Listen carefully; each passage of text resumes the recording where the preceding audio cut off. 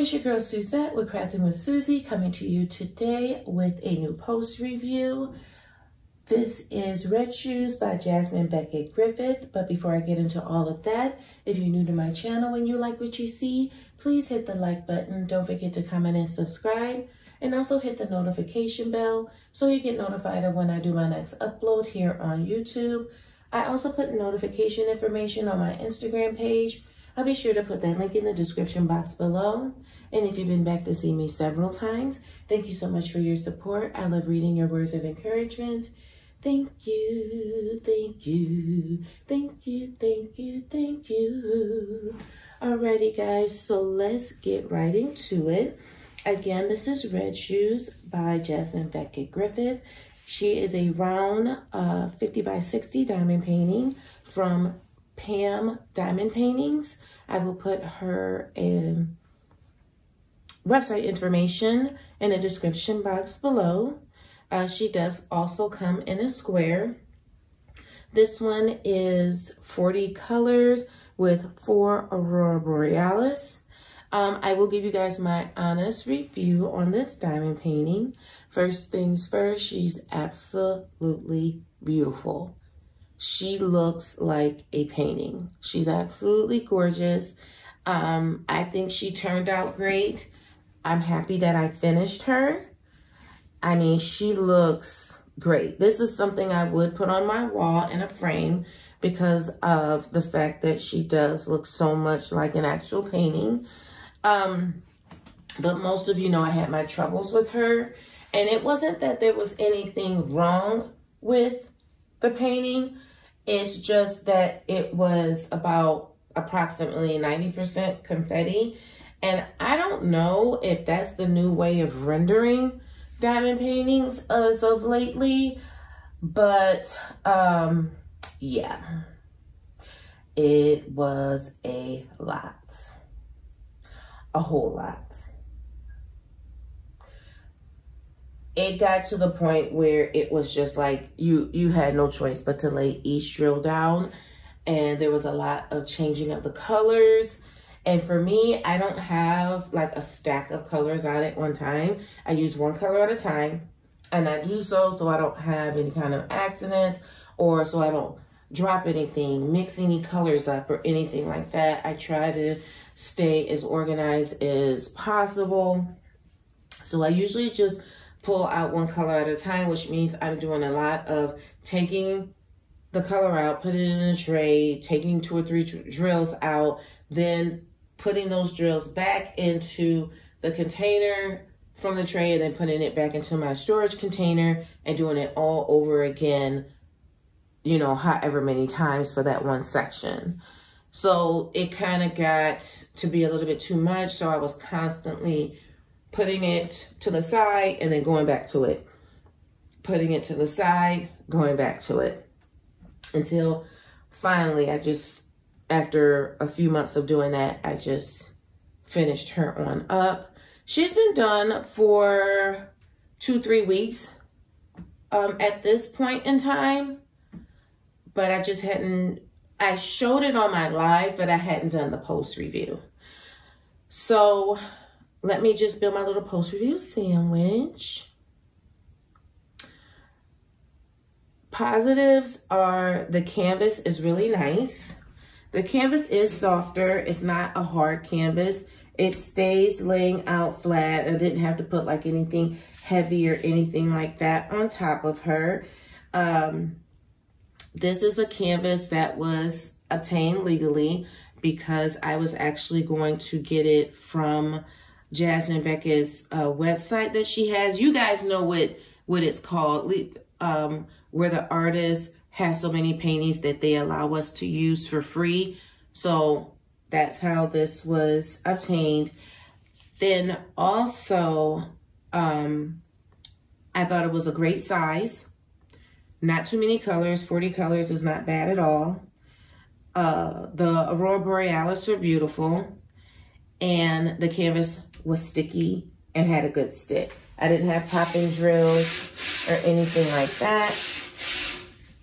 You know, they weren't moving on me. The glue was a good stick. for the painting. So that's a positive.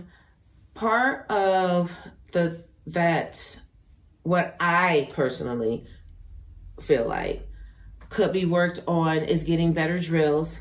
Um, we run into drills being misshapen and things like that, but I see it more pronounced with the small businesses, not all, just some, just some, not all.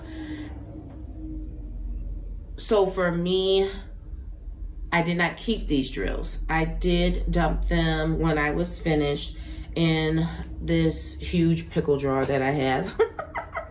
in this huge pickle jar that I have. I just dumped them in there. I did not keep them. I had no plans on reusing them. Um, I would say that plus the confetti. But see that the confetti part, that's just my personal preference. That's just my personal preference. And I understand why they need to do that because then you get something like this. It's so beautiful. But I would say just those two things were um, my two biggest concerns as far as the painting. The way it was rendered to have so much confetti and then the, or the way it was charted to have so much confetti. And then the drills could have been better. The drills definitely could have been better. There was no 310 in this um, painting. What you see is like that blue black color. So there was no 310.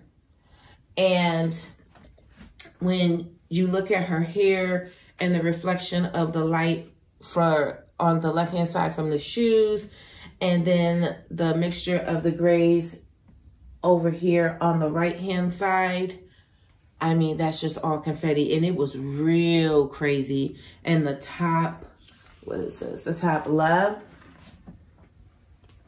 But that mug, look at that face. Like, bro, you that face. It just says it all. And look at that shine. Okay. so to come to the end of my little post review sandwich, I would say something else that um, was positive. The glue wasn't running all off on the sides here.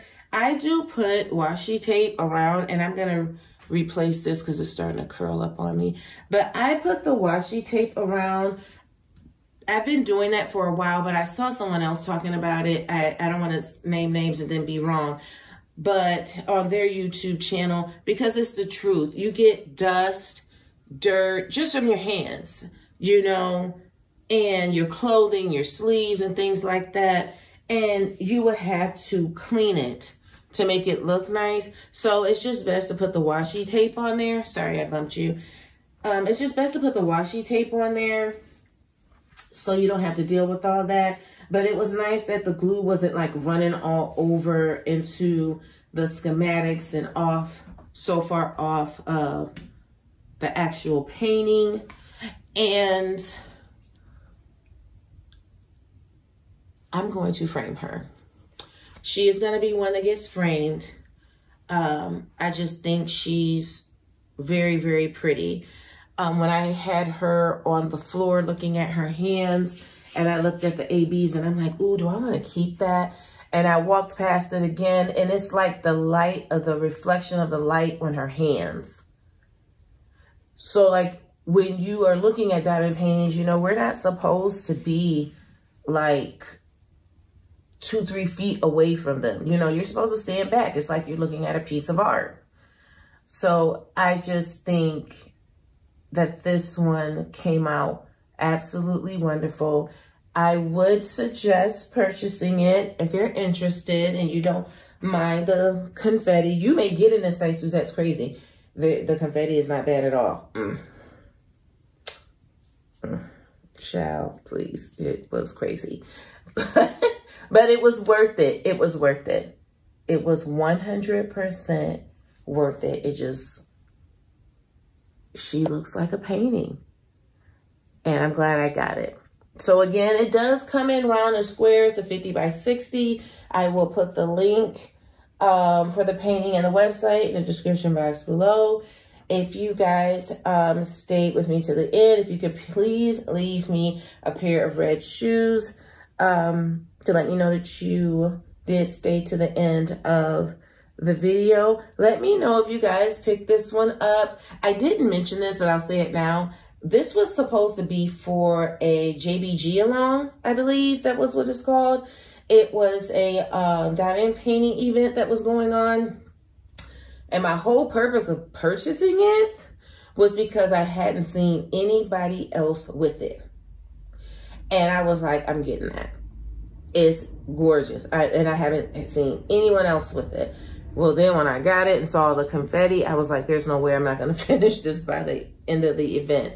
But that was my purpose of um, getting it. Um, I'm sure whoever hosted that event will be doing it um, again sometime next year. So if you guys are interested in that, if you're interested in this painting, I'll make sure I have the information um, left for you guys in the description box. Thank you all so very much for supporting my channel. It means so much to me. Thank you all for stopping by. You all remember to stay beautiful and to stay blessed. Bye.